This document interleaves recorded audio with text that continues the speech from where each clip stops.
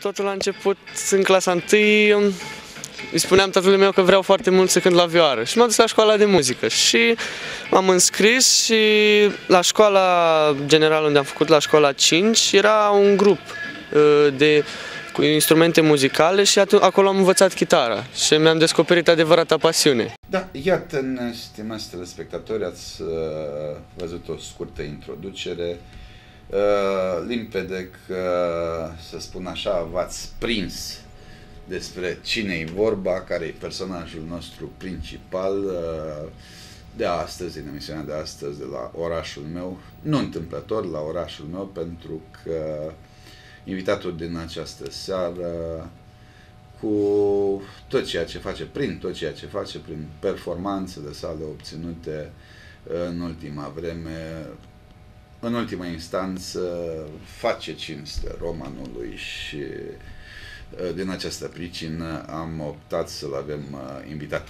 Deci, Cristi Prăjescu, bine ai venit la Bine v-am găsit. Top Al TV. Mă gândesc că în premieră în studio, nu așa? Sau ai mai fost? Mm, am mai fost tot. În studio. A, așa ai fost, dar nu ai fost la orașul meu. Iată, la orașul meu, uh, nu întâmplător, așa cum am spus, pentru că uh, să luăm așa de la coadă la cap, nu așa? În weekendul abia încheiat, mai precis pe 22, 22 septembrie la Buzău, Apropo, acolo cu urși, cu așa, n-ați avut nicio treabă, ați avut treabă cu muzica, nu? Că tot se poartă urși la Buzău. Așa, ai bifat, ca să spun așa cu ghilimele, încă o performanță frumoasă în dreptul dumitale. Haideți să începem cu, m-am spus, cu ultimul eveniment despre ce vorba. A fost un concurs național la Buzău, uh, festival, festivalul Music Factory și um, a fost un număr foarte mare de concurenți, voci foarte bune și un juriu select cu oameni de renume în muzica românească, cum ar fi Daniel Iordăchioaia, Alexandru Jula și mari compozitori și eu zic că a fost un succes pentru mine, deoarece am obținut trofeul la categorie și lucru care nu mă așteptam, dar mi-am dorit. Mi-am dorit mult să-l câștig. Acum să știți că, sau știi, aici, sau nu, oriunde în televiziune lucrăm cu marfa clientului. De ce nu te așteptai? Mm, nu vreau întotdeauna să mă gândesc la ținte înalte, vreau să-mi iasă bine ceea ce fac. Adică dacă mă duc să cânt, nu mă aștept, nu, nu-mi propun, vreau să cânt de trofeu, vreau să cânt de trofeul festival, nu vreau să cânt bine, vreau să fac o figură bună, să placă jurului și cei, celor care sunt în sală. Și cam asta e deviza mea cum spun fotbaliștii, să dai tot ce e mai bun din tine. Exact, să dau tot ce e mai bun din tine. Așa, deci nu e un scop în sine, cu alte cuvinte, ce spui dumneata. Uh, iată, după opinia mea, o, un lucru bun, un, uh, un pas bun, așa, eu știu, uh, apropo de orice... Practic, uh, nu să-mi spui dacă am dreptate, uh, Uh, pentru dumneata și pentru cei ca dumneata, cei care, iată, performează în muzică și mai ales la acest nivel, mă gândesc că fiecare uh, concurs important, cum spui că a fost cel de la Buzău, uh, este ca un nou început sau greșesc eu? Da, e ca un nou început, uh, deoarece nu te poți lega de celelalte concursuri în sensul că am câștigat la concursul respectiv nu știu ce premiu, acum trebuie să câștig la fel. Nu, sunt, uh, este alt juriu, altă opinie a lor și contează foarte mult. În regulă. Uh, am să rog și uh, colegul să ne ajute un pic, uh, trenul din studio, colegul Florin un pic uh, la cameră.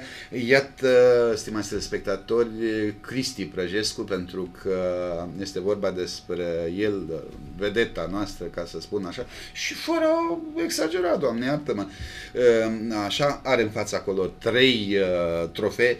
Uh, Cristi, care e ultimul? Cel din, cum se uită telespectatorii, uh, din dreapta, nu? Da, din dreapta cel da. din dreapta. Deci este cel de la Buzău, uh, da? da. Uh, reprezintă ceva frumos acolo. Eu cu ursul în cap când spun Buzău acum, făcând lumea așa. Uh, cel din mijloc este, hai să le prezentăm Este de la Iași, de la Festivalul Național Music for Kids, un festival poate chiar mai puternic Și Asta când a fost? A fost în perioada 10-12 august Așa. și m, acesta este trofeul obținut uh, de la juriul copiilor, De- de... deoarece aceștia acordau uh, fiecarei categorii de grupe câte un trofeu.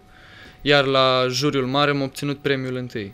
Deci acolo ai cam bifat și ai mai luat ceva, încă un premiu. Uh, un premiu special de la un sponsor, de la Palace. Asta în august la Iași. Da. A, așa. Uh, Deci cel din mijloc, l-am bifat pe cel din mijloc, am vorbit despre cel din dreapta, cum se uită telespectatorii, din mijloc de la Iași și uh, cel din stânga, cum se uită E- telespectatorii. Este trofeul de la București, uh, la festivalul Star Melody, care a fost la prima ediție, dar a fost un festival foarte reușit. 7-9 septembrie, nu greșesc. 7-9 septembrie, da. Da. Unde, iar, uh, apropo, nici la București nu te-ai dus să bifezi acolo, să... Nu bifezi, că nu, nu vine cu iertare, nu știu, să-ți adjudeci ea ca... așa? Cum v-am mai spus, îmi doresc mereu să câștig, să câștig un trofeu, dar nu mă aștept. Și uh, cu siguranță am o satisfacție când îl primesc, dar uh, nu e bine să mergi uh, la luptă, cum s-ar spune, cu astfel de, de vize.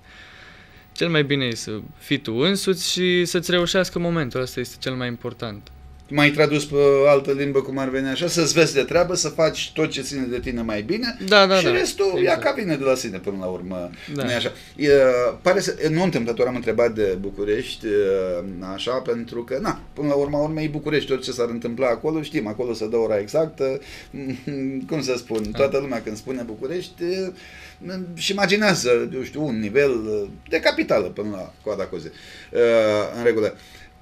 De acum, cum să spun, uh, sigur că festivalurile mm, au colaboratorii lor, au maestrii lor, au așa, dar pare să că de acum ai intrat în, uh, cum să spun, te cunosc maestrii, te deja le dai de lucru. Da, mă cunosc uh, cei, la, uh, cei care au fost în jur la festivalurile la care am participat și mă bucur că m- au apreciat munca pe care am depus-o și că le place ceea ce fac. În regulă. Uh, La toate cele trei festivaluri ai interpretat uh, aceeași piesă, piese diferite, cum stau lucrurile? Uh, La, tot, la aceste trei festivaluri am interpretat aceeași piesă, uh, Brian Adams Heaven, însă la Iași am mai avut o probă a capela, la care am interpretat Scorpion Still Loving You. Ceea ce a capela nu e chiar simplu. Nu e chiar simplu. mai ales că în regulă. Cristi, hai pentru că în uh, debutul emisiunii așa pentru că nu, obișnuiesc în permanență așa să, cum să spun, până să încălzește telespectatorul, știu, la începutul emisiunii, să-i dăm așa, să-l facem curios, să vadă ce. Am, uh, uh, te-am prezentat așa, cum spuneai tu despre începuturi, uh, un decupaj din, uh, ne-am întâlnit noi asta primăvară la... cum Roman se- Vodiște au talent. Uh, a, nu, asta, da, a fost la Casa de Cultură, ceva cu vestitori primăverii. Vestitorii primăverii. Așa, ceva de acolo, un decupaj, așa, unde uh, vorbeai tu, așa, sumar despre începuturi. Haideți să o luăm așa un pic de la uh, începuturi. Uh, pare să că nu uh, ținta asta a fost deodată, așa cum stau lucrurile. Pasiunea pentru muzică a pornit de mic. Uh, Am făcut din clasa 1 până în clasa 8 vioară la școala de muzică, chitară foarte mult și um, cu vocea am început um, mai recent. Am început, desigur, cântam și când eram mic și până, până să încep uh, cu adevărat, cântam în casă, cântam piese așa, însă am început să depun mai mult, uh, mai multă muncă, mai multă pasiune în voce la începutul clasei a noua, iar concursurile au început uh, la, ju- la jumătatea primăverii, prin aprilie. A, în aprilie am avut primul festival la Roman, la Kids, la care am luat premiul întâi spre mirarea mea și a tuturor, presupun, a tuturor prietenilor. Dar uh, m-am motivat să merg mai departe, să continui pe drumul acesta și vreau să fac loc. În regulă, uh, aseară căutam, uh, mă rog, uh, pentru zilele astea, probabil mâine, poi mâine, uh, căutam uh, niște materiale relevante pentru un reportajel uh, legat de personalitatea unui român care, iată, ne reprezintă, este un candidat cu șansă la premiul Nobel, este vorba despre scriitorul Mircea Cărtărescu și profit și de ocazia asta să uh, mai spunem lucrul ăsta. Și spunea acolo Mircea Cărtărescu la un moment dat că el consideră debutul lui, uh, eu știu, o novelă, spunea el atunci, era copil în școala generală, așa SF, pasionat fiind de literatură SF, care i-a dat-o tatălui lui, care i-a promis că o publică, dar a fost așa o păcăleală de copilaj, dacă să nici nu își punea problema. El consideră debutul lui și mi-a plăcut lucrul ăsta, adică în sufletul lui, acolo și-a marcat debutul. Tu unde ți-ai marcat debutul? Eu știu, iată, orice început are, o să ajungi la Eurovision, așa, și o să spui că o să te trebuie reporteri, știi cum să așa, că să afle tot, unde ai marcat punctul acesta, de unde? Să spui tu, Cristi Prăjescu, domne, de aici am început și de acolo am socotit că, nu știu, vreau să merg mai departe. Cariera mea muzicală, a, dacă se poate numi așa. Ai făcut o precizare? Am început-o chiar la concursul Roman Vodiște au talent. Până atunci... Com- unde ne-am întâlnit de altfel. Da, unde ne-am întâlnit. Unde uh, am participat cu o piesă compusă de mine în perioada aia mai compuneam acasă, dar uh, erau, pentru mine atunci erau vise și speranțe, dar uh, vreau să lupt pentru ele și să ajung departe și m-a ajutat Dumnezeu să intru puțin. Dar mai am de muncă. Și... Mm, fără discuții, că abia acum începe Abia acum începe. Și... Dar nu, cred că ăla este punctul în care am Îl socoți tu în sufletul tău, așa, eu, ca da. fiind începutul de drum. Așa, um, sunt bucuros că, iată, am fost împreună cu ocazia respectivă. Am mai dat chiar și secvențe, așa că am făcut montajul cu ocazia ultimelor succese ale tale. Iată, avem aceste to- uh, trei trofee pe masă. Vorbim, deci, august, este vorba despre, practic, două luni, trei trofee. Adică media ta e mai bună ca lui Ronaldinho, ca să spun așa. Uh, apropo de ca să facem mereu, uh, vorbim tot despre performanță. Uh, da, începuturile acelea de la școala de muzică. Apropo, cu cine ai făcut vioara acolo? Am făcut șapte ani cu doamna Hecht Cocaș și un an, un an jumătate cu doamna Alexandru. Cât de mult s-au ajutat, uh, iată, acești șapte ani? Mi-au ajutat. Uh, pe lângă vioară făceam și teorie muzicală cu domnul Ovidiu Trifan. Maestru nostru. Maestru nostru. Da. Și care ajută foarte mult teoria muzicală, fără de care nu poți să compui, nu poți să... Să te apuci de o treabă Să te apuci de o treabă ca lumea, ca să spunem așa. Um, iar la școala de muzică mi-a plăcut vioara, când eram mai mic, am avut o perioadă în care vroiam eu să o las deoparte, fiind mai mult îndrăgostit de chitară și cântam toată ziua la chitară, încercam să reproduc melodii de la Metallica, însă mi-am dat seama, din păcate, chiar la sfârșit, că vioara este un instrument greu, frumos și de folos. Dar nu regret că am făcut vioară și, că, și mai ales nu regret că am făcut școală de muzică, pentru că chiar mă ajută. Deci e o temelie la acest început, pot să o consider. Este o temelie. E important să-ți dai seama unde ai falsat, unde trebuia să cânti mai în forță, unde... Și lucrurile s-au mai perfecționat și după ce am început să fac, să iau cursuri de canto. Pentru că la cursurile de canto ți se explică, trage mai mult aer, scoate mai mult volum, Închide gura, deschide gura, e, mă rog, nu știu, dramatizând da. așa. Dar sunt de folos. În regulă. Uh, mă gândesc că, iată, ai spus, uh, sigur, uh, sunt atâția Uh, vrăjitori care au, uh, ca să spun așa, dovedit acest instrument, mă refer la vioară și mă gândesc la Paganini, de pildă, nu e așa că era mai celebra, așa. Uh, mă gândesc că te-a disciplinat și probabil că e un lucru care nu strică, iată, la o anumită vârstă mm. când... Da, nu strică. Și pot să spun că muzica pe care o interpretam la orele de vioară era muzică clasică, care te ajută la formarea unei culturi, mai ales muzicale. Și chiar m-a ajutat. Chiar Da. m-a ajutat foarte mult. Acum a fost ideea, că știi tu cum e aici, mama, tata, apropo de cei că ia, mie mie îmi vine așa mereu să fac comparații, știi tu cum e la Oscar, când ce cui mulțumesc. Păi începe cu bunica, cu mama, cu tata, cu vecinul, cu prietenul. Uh, acum a fost ideea totuși până la urmă că ia că ai ajuns la școala de muzică atunci. Păi eram mic, e, cum v-am mai spus, eram în clasa 1 și m, am spus acasă mamei, tatălui, că vreau să merg la școala de muzică, să cânt la vioară. Aveai colegi care... Nu, nu, nu. Ah. Uh, Vreau să cânt la un instrument. Uh, Ideea inițială era pianul. Și m, părinții au decis să mă ducă la școala de muzică să mă înscrie, iar acolo m-am decis pe loc să, să fac vioară. Și cam așa a început povestea. În regulă. Deci uh, nu ai denominalizat, nominalizat uh, strict pe cineva. Ok. Au trecut uh, anii ăștia, am spus, uh, iată, au venit uh, aceste uh, întâlniri, ca să nu le spunem, nu știu, mi s-ar părea așa mai pretențios, spun întrecere, așa, cu toate că n-ar fi exclus nici, uh, uh, eu știu să folosim această expresie, aceste întâlniri, iată la Roman Vod, ai și norocul de a fi ajuns, trebuie să spunem, cred că nu greșesc Da. că să fi ajuns la Roman Vodă, unde mereu se întâmplă câte ceva frumos, așa. Uh,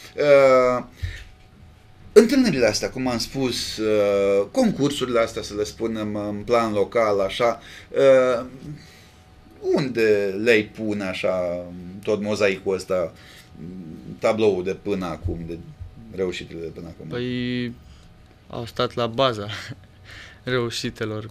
M-au, um, m-au ambiționat foarte mult.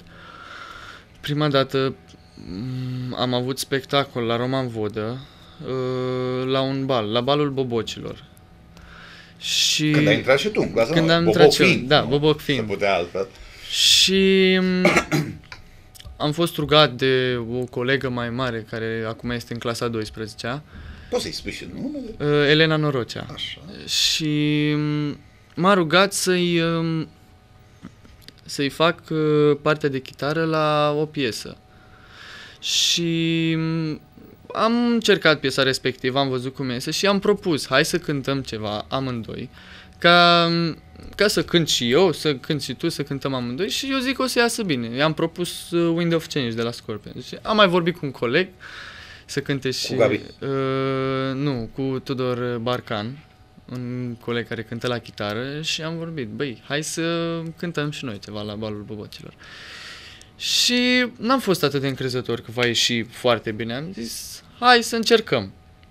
Și am rămas surprins. Lumea a apreciat foarte mult momentul ăla și l-au privit ca pe un moment uh, foarte bun, de bun augur. Din cadrul spectacolului. Da, și m, după am mai avut uh, tot la un bal la liceu, uh, tot așa am cântat cu o colegă din nou în duet două piese uh, și însoțit de doi chitariști. Și tot așa a plăcut foarte mult lumii și mi-au dat un zvâc, ca să spunem așa. De aici ai început să devii De aici cunoscut, am început ia să- ca da. vedetă în Roman Vodă, nu mă gândesc că... Da, am început să fiu mai cunoscut uh, în liceu și lumea mă aprecia, eu le mulțumeam și mi-au dat uh, mult curaj să încerc mai departe și chiar le mulțumesc pe această cale tuturor care mă susțin și care îmi spun că sunt bun.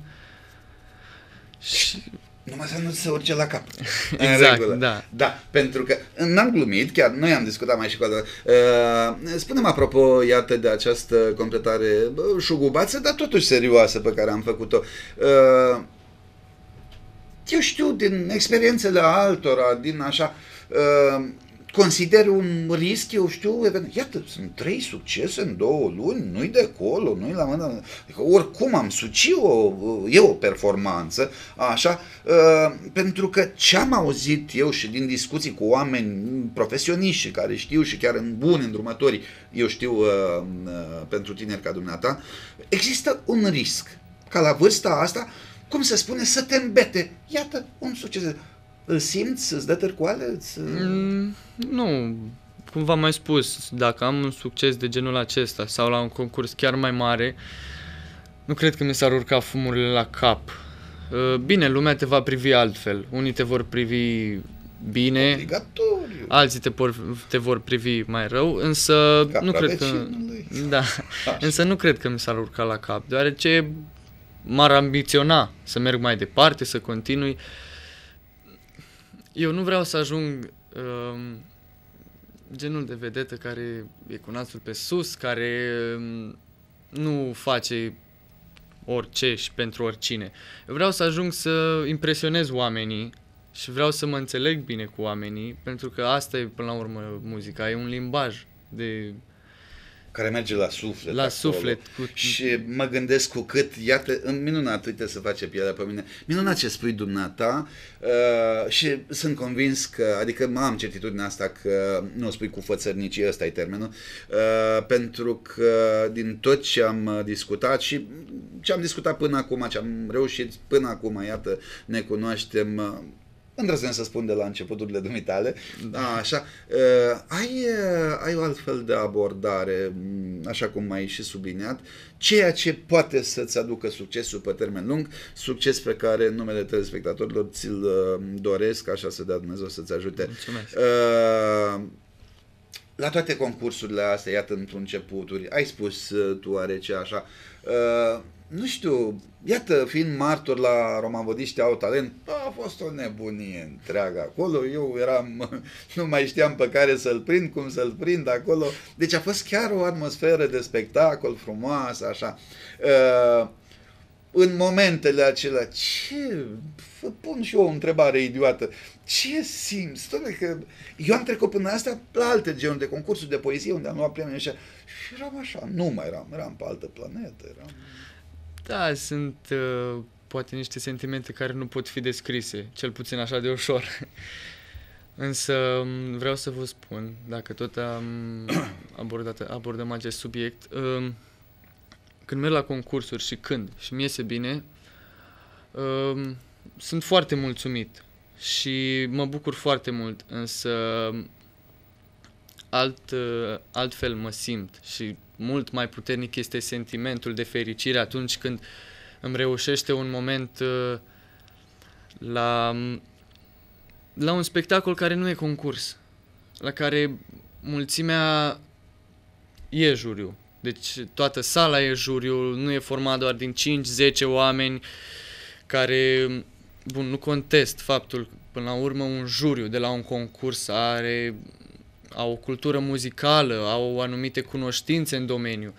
Însă, până la urmă, ca artist, te raportezi și la părerea publicului, poate cel mai mult. Și chiar, chiar mi se umple inima de bucurie când văd că mi iese un moment la un bal, la un spectacol de genul acesta. Dar, cum v-am spus, pe de altă parte și la concursuri.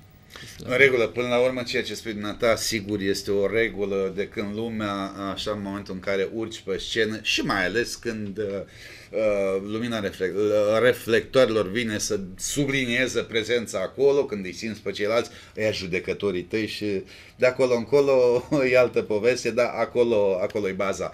Uh, ok. Uh, sigur că sunt multe de discutat, uh, ești la început, uh, am uh, căutat deloc întâmplător în cadrul emisiunii Orașul meu să subliniem, iată, o performanță deosebită în circa două luni de zile, trei trofee, nu-i de acolo, sigur că da.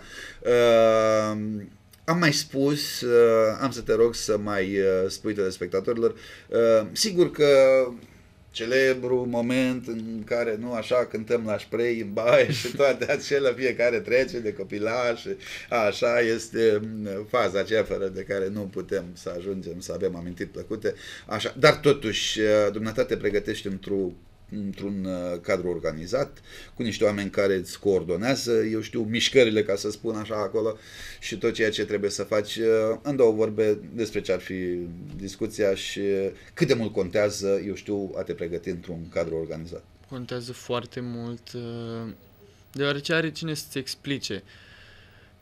Cum v-am mai spus, uh, sunt oameni care au cunoștințe în acest domeniu și care te pot ajuta foarte mult, deoarece sunt, au fost foarte mulți oameni care s-au născut cu acest talent și n-am mai, n-am mai, nu mai aveai ce să faci la dânsi, dar um, e nevoie de ajutor mereu și chiar vreau să mulțumesc profesorilor de la clubul de canto care și pentru că mă ajută și că, cu siguranță, fără ajutorul lor, nu aș fi obținut și aceste trofee și... Poți să le spui și numele dacă... Um, eu canto fac la clubul Lucky Dance cu domnul Sergiu Rudic și doamna Mihaela Tertelici. Și le mulțumesc pe această cale amândurora pentru faptul că m-a ajutat atât de mult. În regulă. Uh, Aș vrea să Așa în două vorbe, acasă, că mă gândesc, nu știu, uh, tata știu că a fost cu tine la Iași, de asta știu sigur, că așa, uh, obișnuie să mai vină cu tine, să țină galerie, mă rog, uh, timpul de multe ori nu permite. Uh, cine e, e fanul tău cel mai mare acasă dintre părinți? E, amândoi sunt fanul numărul unu e, și amândoi merg cu mine la concursuri Desigur, dacă intervine ceva, merg numai cu tatăl meu, eventual, dacă, v-am mai spus, intervine ceva și mai urgent și mai important, merg cu domnul profesor Sergiu. Și, dar până acum am mers numai cu părinții. Am mers, am, m-au însoțit și dânsii. În regulă, sunt. sunt acolo, iată, am văzut, sigur, făcând o, o comparație așa în context, pentru că tot vorbim de performanță, am văzut și recent la Londra, la Olimpiadă, părinți performerilor acolo, stând și frecându-și, nu așa, e un moment deosebit. Uh, avem un minuțel, cred că atâta ne-a mai rămas. Am să te întreb, uh, Iată, a început o nouă mm, stagiune, sau cum să spune acum, uh, X Factor, România Nu te-ai spitit cum de... în primul nu rând, ești pe acolo, că știu că nu ești. În primul rând, n-am avut vârsta necesară să Aha. particip la X Factor și la Vocea României, Sau, dar da. cu siguranță la anul voi participa la unul dintre aceste concursuri. Aha, deci, da, ai un uh, bușdugan înainte trimis, este bunul tău prieten, uh, Gabi? Uh, da, Sebastian Tudor. Ah, Sebastian, așa? Da, a fost la X Factor și, în opinia mea, s-a descurcat bine. Ok, deci pe la anul te vedem și acolo, nu-i așa? Da. Bine. Uh, Lucian Prăjescu a fost stimați telespectatori. Lucian, mulțumim pentru că, iată, uh, ți-ai făcut uh, un pic de timp să fii prezent aici la Topal TV în fața romașcanilor, pentru că eu am o vorba mea, stimați telespectatori, o știți de acum, să știm cu cine mergem pe stradă. Iată Lucian Prăjescu, Cristian, uh, Cristian Prăjescu, da, l-am botezat cu gândul la un Lucian care trebuia să vină, apropo, Lucian Cheran, un student, a intrat primul la Academie de Muzică, cum se mai cheamă acum la Iași, așa nu știu de ce făceam. Uh, Cristi, mulțumim, succese cât mai multe și, Mulțumesc, exact cum ai spus, să-ți ai grijă de așa că se poate deraia la o adică, succesul uneori poate să fie și cu, e cu două tăișuri. Uh, mult succes, stimați spectatori, mulțumim Mulțumesc. că ați fost alături de noi. Vă lăsăm ritmurile uh, piesei cu care Cristi a câștigat toate acele, aceste trofee. Toate cele bune să rămână. When I came in my arms, I find it hard to believe what you cared